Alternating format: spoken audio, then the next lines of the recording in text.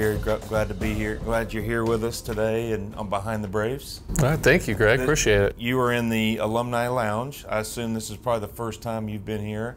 It is. It was the first time I walked through and uh, saw the, the Hall of Fame out there. Yeah. Uh, some of the cool water, watercolors on the wall. It's beautiful back here. Yeah, this is really nice. I know as a player, I couldn't, I didn't realize how many people work behind the scenes when I was with uh, with the Braves and all the stuff that goes on. And so I'm sure as a player you don't get a chance to see uh, everything, but it's nice to bring you to a new place to the ballpark.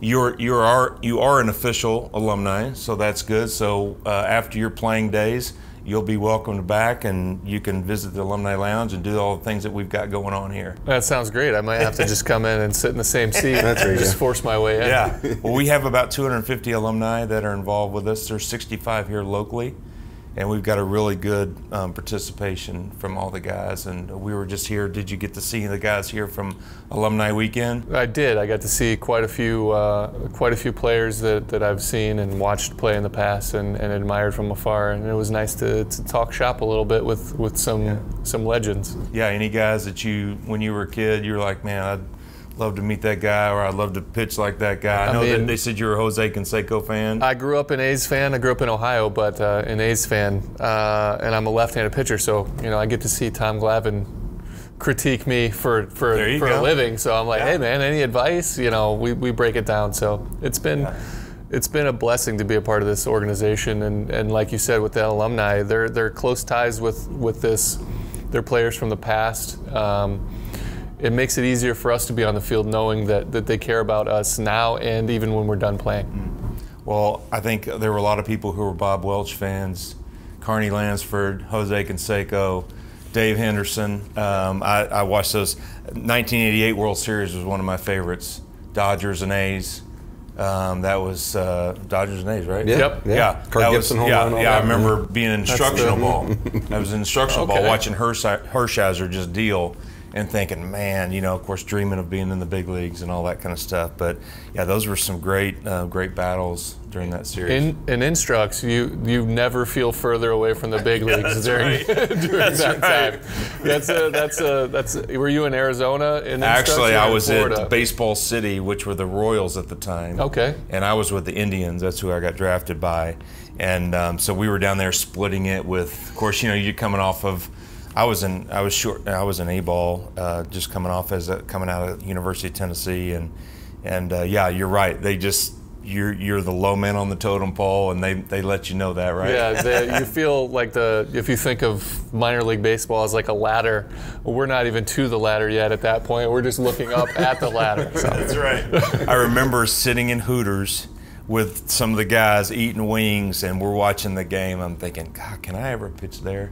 Those guys just seem like monsters. I mean, you think about Jose Canseco, Dave Henderson, uh, Carney Lansford just looked like a, a you know a wildebeest. I mean, he was just a real man. I mean, he was huge, He's especially on solid. TV. Everybody looks bigger, but those guys, I don't know what if they were doing anything, but uh, that they were still- they were some big boys. He's still pretty stout, Carney. Um, I have a chance to play with uh, both of his sons that played in the A's organization when I was over there. Oh, nice. So I got to see a lot. He'd come over as a fan too, and he was doing some TV stuff on field, on and off while I was in Oakland. So Yeah, yeah, well- he still he still looks the wildebeest part. Like he, he looks like he can move a truck without Yeah. starting the engine. I bet they had some. It kind of reminded me of some of the Phillies teams. They were just like those guys are big. Mm -hmm. Yeah, you don't want to. You don't want to. You know, we were talking about Ronnie before we, we started. You're not going to want to throw him high and tight. Anybody on those those 88 team uh, with Oakland, because they'll they'll come after you. Well, I was surprised. I was kind of throwing some bets down. One if we were going to drill the first guy uh, yesterday. After you know we've had our share of incidents with the Marlins, and of course they've hit you know Ron- Ronald twice, and and I'm just thinking, well, I wouldn't put it past that maybe you know Julio's going to go out there and just send a message. I don't know. Did we get a warning before the game? Uh, yeah, so they just kind of they didn't warn us before the game, but they extended it that they're paying attention. So if anything would have happened, it probably would have been a fine sent down. I think Julio and myself would leave it to the guys that throw a little harder to send a little bit more of a message. That's right. That's right. got some guys that That's can throw. right. Can, they well, can I throw. said that because I don't know if I would want to be that pitcher that had to send a message, and I was pitching against the A's. Yeah, that's- that's- that's That- key. at that point in time, and knowing that I had to knock down somebody. Well, but Julio pitched what seven seven shutout innings, Oh. win the game five nothing. That's about as good a payback. As That's you can get. good, but you know, back I in the day, I we, know. we, I know, I know. we I the trying game. to, I was trying to be that guy, but even I'm like, yeah, but still. I'm with you. I- Like for me, I don't want to. I don't want to hurt anybody. You know, if we have to protect a player, especially you know they hit Hechavarria as well. I don't think either one were on purpose, but it's not for us to determine. Um, but we just wanted to you know, beat them on the field and Right. put a win in the Ultimately, that's W. the best way to Yep, do it, right? Absolutely, that's how I feel. Yeah, well, that's good. Well, um, I, I was excited when I started reading a little bit more about you, just because we had so much in common. You were born in God's country. I was too, up in Tennessee. I didn't know y'all were born in Virginia. Yeah, no, no, it's Tennessee.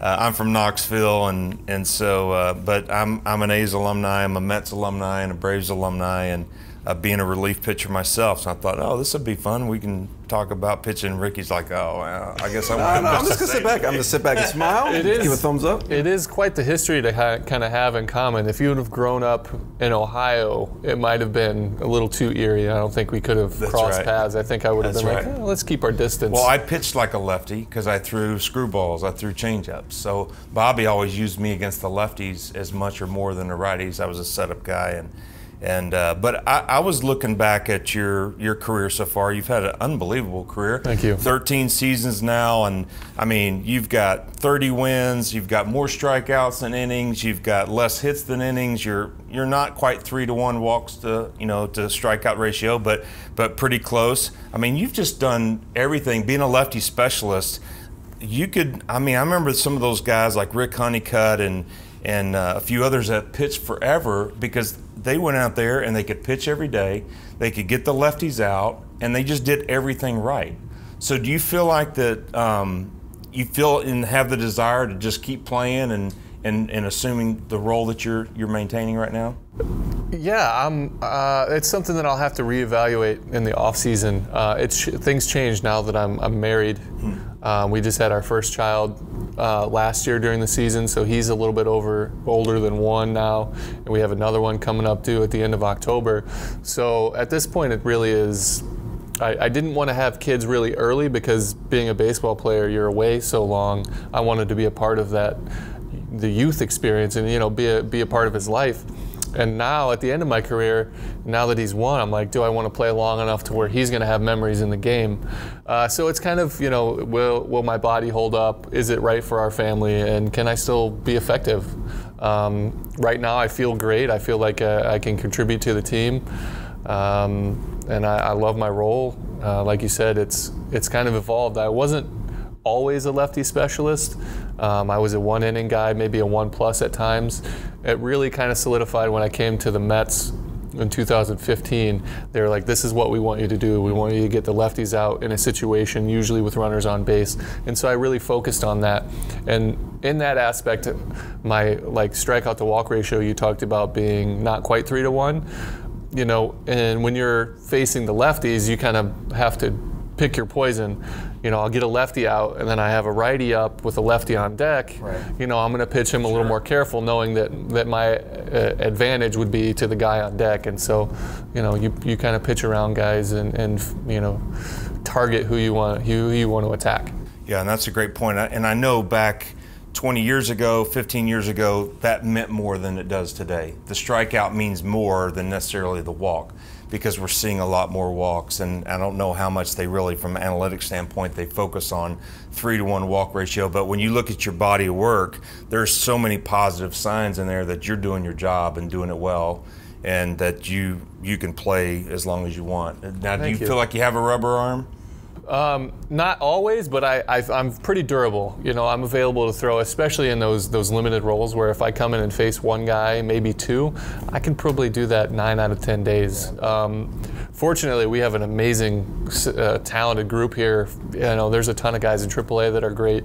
So I haven't been asked to do too much, um, but they're awesome here. But I do feel like I can I can contribute. You know, you know, basically every day, and I'm available every day. Um, it just turns out that, that they don't need me. So all the better. I, I've Greg and I have been doing behind the Braves for almost a year now, and I hesitate to say this, but I never get tired of listening to him talk about pitching. It's always fascinating me. I love listening to him break down current things that are going on and comparing them to his his time. And with him being a relief pitcher, I've asked him and talked to him about this, and I wanted to ask you what is that like? How do you stay mentally prepared for such a, a, volatile role? And I mean volatile in that you might pitch three days in a row, you might not pitch for a week, you might come in like you did, uh, I think it was uh, last week, and close the game. I mean, uh, how do you stay mentally ready for that? Seems like to me, as just a, from a fan perspective, that seems like the hardest job in baseball, being a reliever. Well, thank you, Ricky. I appreciate it. You're welcome. You should you should tell Anthopoulos that. No, uh, well, we will play this winter. We will. for, me, for me, being a reliever uh, is easier preparation wise for a sense that I know I have a chance of being in there the next day. Um, from a mental standpoint, you talked about how well Julio pitched yesterday, seven shutout innings. Well, the five days before that, he had a struggle. I think he got four outs. Is that right, or something like you know, that? Under yeah. two innings, and for him to have to sit on that for five days and still go out and be effective. What I loved as a reliever is almost like we're position players. We have to lace our cleats up every day with a chance to play, and so it kept me out of trouble because I, you know, I couldn't go out to bars. You know, I couldn't, you know, go chase the nightlife because I have a job to do. I got to be ready every day, and so I was like, all right, if my body body physically needs to be prepared. I need to be mentally prepared to, to play every day. And so that was an easy, you know, conversion for me as a professional. Did, did you ever get the nickname Dr. Blevins?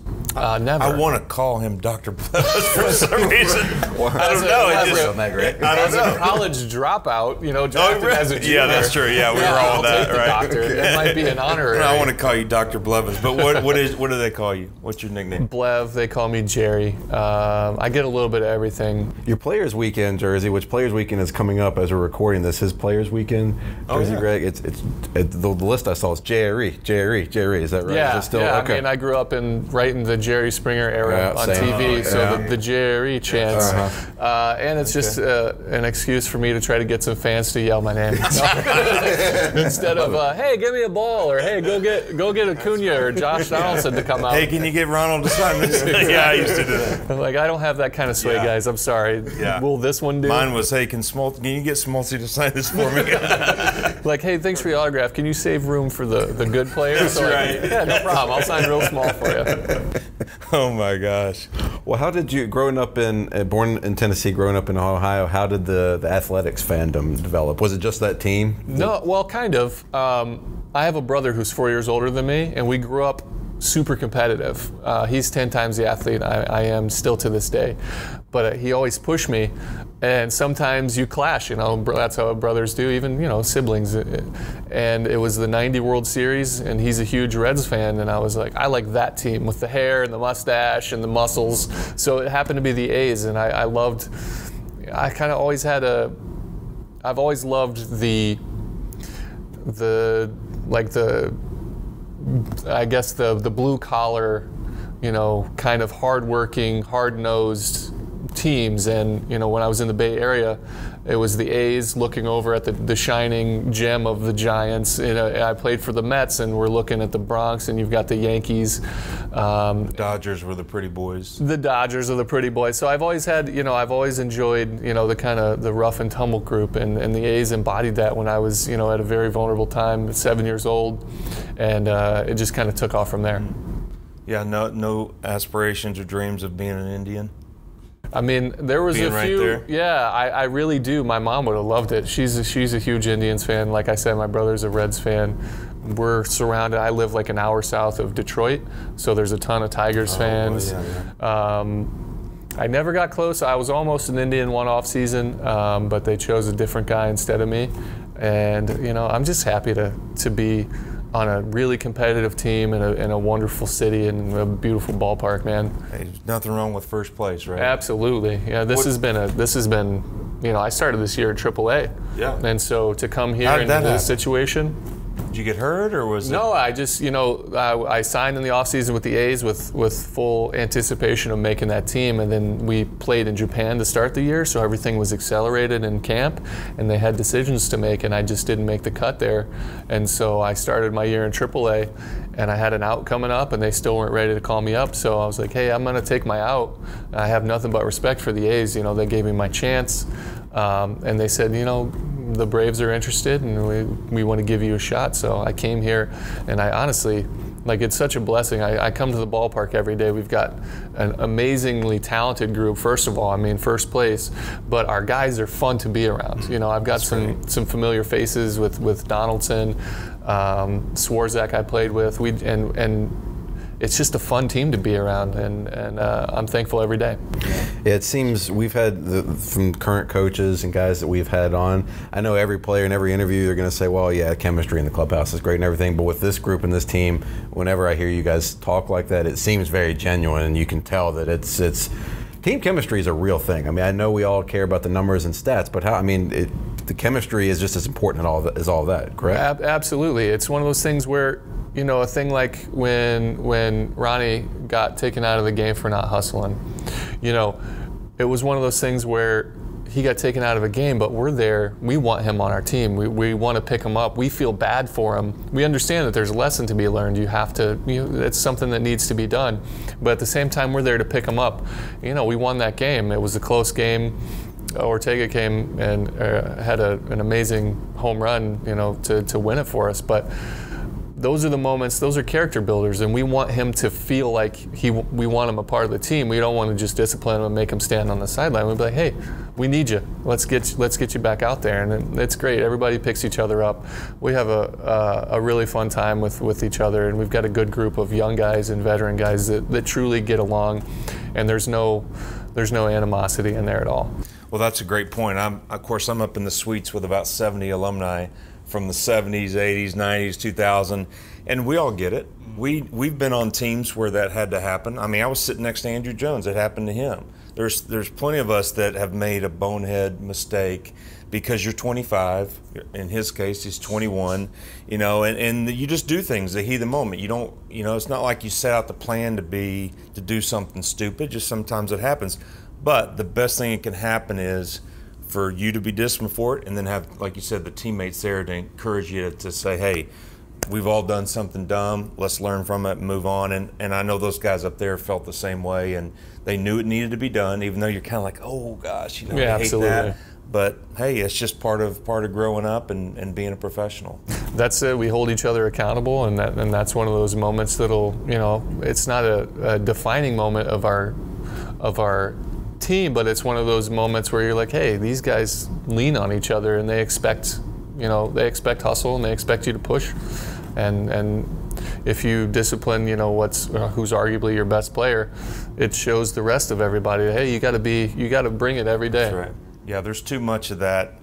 The worst thing you can do for chemistry on the team is not do it to your best player exactly one of your top players, and then everybody's like, "Oh, you know, here we go." Right? yeah, you can't have you can't have a double standard. No. You can't treat your superstars like this, and then treat you know your Not 25th that man. Anybody expected Snit to be that way because we know better. Correct. But, but let's talk about you. Um, you know, we, we don't have you for a long time, but I'd love to know, and I'm sure Ricky, as we've talked before before about pitching, tell us what your routine is. How do you how do you come to the ballpark? I know the mentality of a, of the blue collar. I get to work. I'm an everyday player. That's great. I love that too. But tell us what you do to start preparing mentally around four o'clock, five o'clock as you stretch. You said you're going out to stretch today. What do you do because you may not be pitching until ten o'clock? Yeah. So my day usually I get here around two o'clock for a seven o'clock game, and as soon as the lineups are posted, looking at the lefties, I'm like, all right, what spot in that lineup you know, if it's the Phillies we're facing, it's Harper usually in the one, two, three, four hole. Um, looking if we're going to New York, I'm looking for McNeil and Conforto and Dom Smith if he's in there. That kind of I figure out what what part of the lineup I'm going to be attacking. I make sure I'm prepared, knowing their tendencies, knowing where to attack them, knowing I feel comfortable, you know, with the pitches I'm going to be throwing and then that translates to making sure I'm, you know, I'm 35. I'll be 36 in a couple of weeks, making sure my body's physically ready. So it's hot tub, stretching, rolling out, you know, doing some yoga, and then uh, once the game starts, you know, I like to start stretching in the fourth inning. I play catch with the outfielder every fifth inning, and that really starts my routine. And so I start to lock it in from then on. And, and you usually see me you know, I'm one of the few players that gets out of. We have like an air conditioned spot in that bullpen. you know, the fourth, fifth inning, unless it's a scorching hot day game, you know, I'm out there watching the game. It's just a different perspective. I like to see, feel the atmosphere, feel the fans, uh, and I get locked in from the third on usually. That's good. Has, has Nick Nick Markakis has been spending some time out there in the bullpen? Has Yeah. he said, has he talked much when he's out there? Is he just he's just kind of hanging out watching? he's the not a huge talker to begin that. with. Yeah, uh, but but Surprise. he uh, he he he noticed it's the best seat in the house. I mean that that little perch there we have in that right center field, it's the best place to catch a game. You know, I could talk to the players. I you know I feel like I helped Ender Enci- Enciarte out a few times, telling him he's got room on the track. You know, it's just a beautiful place to catch a ball game. And, and Nick's, you know, unfortunately on the the injured list, and he's just walking around experiencing you know different parts of it. And so it's always nice to have him down there. You get to talk hitting and pitching with a position player. It's it's a blessing. Plus, you know, he's Well, he's a good one. he's one of the best. Yeah. He'd be a great one. So when you came over after the season started, you were supposed to you thought you were going to be in Oakland, and you've got a young family. I know that moving a young family at any time is not easy. Moving in season when you thought you were going to be one place on the other side of the country, that's especially hard. But does it help a little bit when you know, okay, I'm going to a team that's that's contending? Does that make it a little bit easier to deal with? Yeah, it makes it a lot easier. You know, that's that's one of the lu- uh, luxuries of of being a lefty reliever or just a reliever in general. A team that usually wants me on their squad is either contending uh, or looking for a trade deadline to to swing them to a contender, and so they're only going to pay me, you know. Um, my salary if they if they think they're going to win, and so I, I, I've been blessed to be a part of mostly you know competitive teams. You know after my first few years in Oakland when we were you know uh, rough and tumble kind of team. Yeah. Right. I wanted to ask you about the strike zone. I noticed that, you know, when I've talked to guys about, and I'll show you just the visual I kind of used when when I was playing. The strike zone was like this, Yeah. and now it's like that. And they, you know, for a guy like you and me, I don't want that pitch up there. because I feel you. And, and a lot of guys are learning that they can't. They think they can throw that pitch, but that's a ball, and that's a home run. You know, and that is a very small piece of um, real estate that you're going to try to hit on a on a consistent basis. It's not easy. Yeah. So I know that there's, you know, the umpires used to be unique in, in who they were. So one guy would give you a little bit more of this and nothing of this, or he would give you a little bit more of that, nothing of that. He'd go a little bit below the knee, but he'd never go above the waist. And now they're calling this pitch, but they won't give you that. And so So, sometimes. Sometimes, yeah. So the uniqueness is Yeah. inconsistency, but where there used to be a unique, and of course you always had the bad umpires, but um, but I think the Major League Baseball is so far in their head that that it's like to me when I watch, every hitter can be as patient as possible because none of the close calls are going by way of the pitcher. It's the benefit like. If the if the hitter decides not to swing, the benefit goes to them that it wasn't a strike and even if it's right on the border of black or whatever. But anyway, I just love to know your perspective on that because there's been a serious evolution in a short period of time compared to when you started your career. Absolutely. So we talked about preparation. That was one of the things that I used to prepare. Is like, all right, this umpire gives you a little bit on the inside portion. Um, he's a little bit tighter on the outside to a righty, that kind of thing. And now I don't really focus on that. I watch it in game. And so I see what's going on on the field. I'm like, he's a little tight here or there. But I mostly rely on my catcher to understand that. Um, now, like another evolution, you talked about the strike zone, but it's the, the hitter's approach. So a lot of hitters are trying to hit a home run with every swing. And for me, for a guy that works off of you know being able to locate your pitches, it's it's advantageous for me because if a guy tries to hit a home run, I know all I have to do is execute. If I put my pitch where I want it in the right spot, odds are I'm going to come out ahead. And so that's kind of one of the evolutions. That's why strikeouts are up, home runs are up, because if you do make a mistake, it's a home run.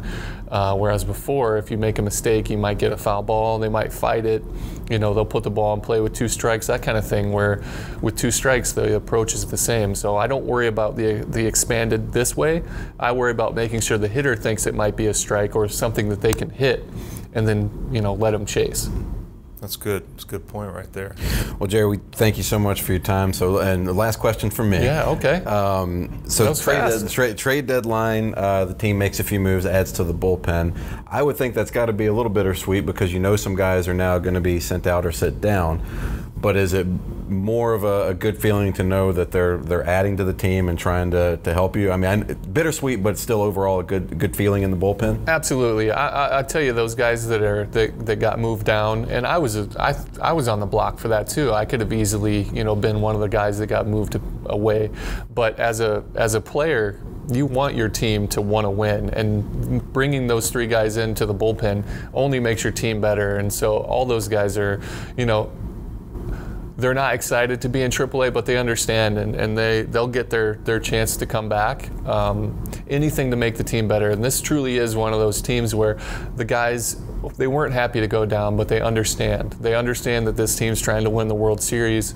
They want to be a part of it, and they're happy that the front office wants to win a World Series too. And so, like you said, bittersweet, but ultimately, whatever makes the team better. Well, again, we do appreciate you being on. I know that you're you seem to be a good teammate.